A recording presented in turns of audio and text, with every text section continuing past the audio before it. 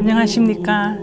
저는 이분의 여러분과 함께 성경의 시편에 대해서 묵상하게 될 예수성심 전교 수녀의 전봉순 그레고리아 수녀입니다. 오늘은 첫 시간이라 시편이 무엇인지에 대해서 간단히 말씀드리도록 하겠습니다. 시편은 유다교에서 히브리 말로 찬양가들 또는 찬양가들의 책이라고 합니다. 물론 시편 안에는 찬양 시편만 들어있는 것이 아닙니다. 그런데도 흥미롭게도 이 찬양가라는 이 단어가 개별 시편 안에는 여러 번 나타나지만 시편의 제목으로는 오직 시편 145편에만 등장합니다. 그래서 이 찬양가라는 말이 시편 전체를 묘사하기에는 부적절해 보일 수도 있습니다. 왜냐하면 시편 안에는 찬양 시편뿐만 아니라 탄원 시편, 지혜 시편, 역사 시편 등과 같은 많은 시편들이 있기 때문입니다. 실제로 탄원 시편은 시편의 시편 전체의 3분의 1을 차지합니다. 그렇지만 시편을 전체적으로 볼 때 탄원 시편은 시편 책의 전반부에 주로 나타나고 책의 후반부에는 찬양 시편이 나타납니다. 그래서 전체적인 의존은 바로 찬양의 분위기를 띈다고 할 수가 있겠습니다. 그리스도교에서 시편은 프살모스라고 합니다. 이것은 시편의 제목으로 가장 많이 나오는 히브리 말 미즈모르를 번역한 것인데 이 미즈모르라고 하는 것은 악기와 함께 연주된 음악이나 노래를 말합니다. 그래서 우리가 유념해야 할 것은 이 시편이란 하느님께 대한 찬양과 노래입니다. 시편이란 하느님을 찬양하고 노래하는 것입니다. 시편에는 시편은 고대 이스라엘의 역사 안에서 여러 시기에 저술이 되어서 일반적으로 잘 알려지지 않은 환경하에서 오늘날 우리에게 전해진 노래들을 한꺼번에 이렇게 모아놓은 명시 선집이라고 할 수가 있습니다. 그렇지만 이 150편의 시편이 구약 성서 안에서 유일한 시편집이라고 말할 수는 없습니다.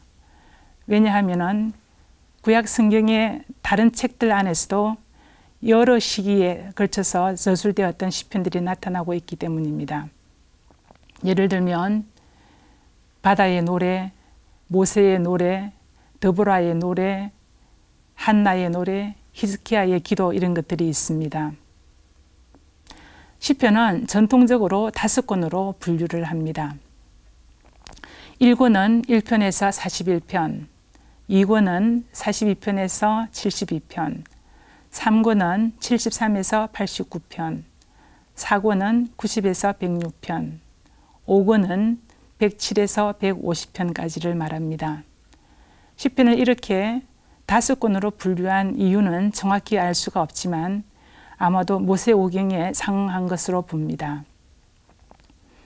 유다교 전통은 한 작품을 다섯 부분이나 다섯 권의 책으로 구성하는 것을 선호한다고 합니다.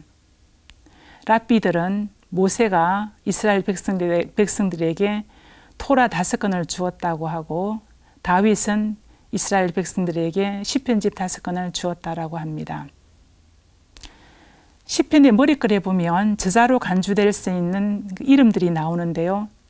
그 가운데 다윗이 73분이나 나옵니다.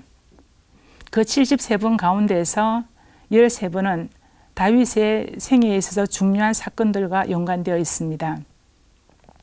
이러한 현상은 바로 다윗이 잘 알려진 시인이었다라는 것을 짐작케 합니다.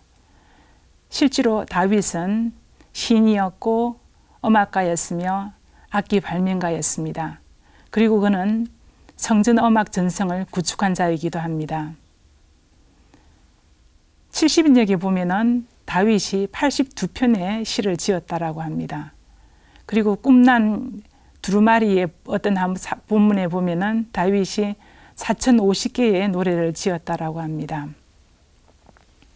이 시편집이라고 하는 것은 유형과 유래와 시기가 다른 150편의 운문으로 짜여져 있습니다.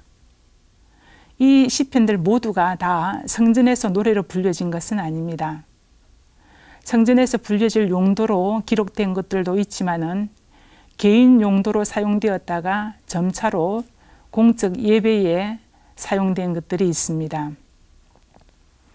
어떤 시편들은 공동체적으로 노래를 부르기에 적합한 것이 있는가 하면은 또 다른 시편들은 예를 들어 지혜 시편 같은 것은 오히려 묵상에 가깝다라고 할 수가 있겠습니다. 시편은 전체적으로 하느님을 향한 말씀 곧 기도입니다. 말하자면 연약한 인간 삶의 고백이라고 할 수가 있겠습니다.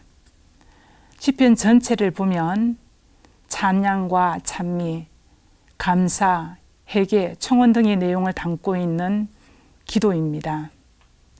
이 시편을 통해서 우리는 우리의 체험을, 우리의 고난과 고통을, 우리의 감사와 찬미를 적절하게 표현하는 방법을 배우게 됩니다. 그리고 이 시편은 하느님의 개입에 대해서 인간이 반응한 것을 표현한 것입니다. 그래서 시편은 하느님과 인간의 대화입니다. 시편은 신약 성경에서 100번 이상이나 인용이 되고 있습니다. 복음서 저자들은 이 시편 기도가 예수님의 기도라는 것을 보여주고 있습니다. 예수님께서는 십자가상에서 마지막으로 저희 하느님, 저희 하느님 어찌하여 저를 버리셨습니까? 라고 시편 22편의 2절을 인용하십니다. 그리고 시편 31편 6절을 인용하셔서 아버지 제 영혼을 당신 손에 맡깁니다 라고 하시면서 생을 마치십니다. 이렇게 시편은 예수 그리스도를 향하고 있고 예수 그리스도의 마음을 잘 표현하고 있습니다. 그래서 우리는 이렇게 말할 수가 있을 겁니다. 시편 기도는 하느님 앞에 서 있는 모든 인간의 기도이고 또한 우리 주 예수 그리스도의 기도라, 기도라고 할 수 있겠습니다. 감사합니다. 다음 시간에 뵙겠습니다.